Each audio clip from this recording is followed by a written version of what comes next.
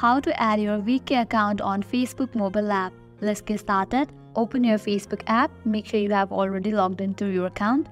You will land to the home page. Now at the top left corner you can find your profile picture. Tap on it. With that you will land to your profile. Now over here you will find these three dots. Tap on it.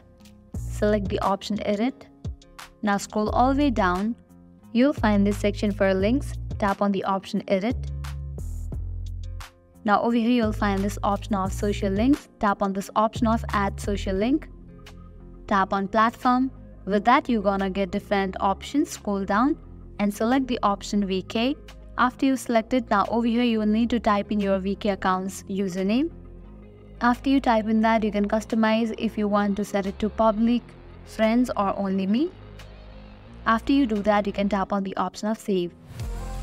So this is how you can easily add your VK account on Facebook mobile app. This is all for this video. I hope now you guys are clear about it. At the end, if you guys find this video helpful, don't forget to like, share and subscribe. Thank you.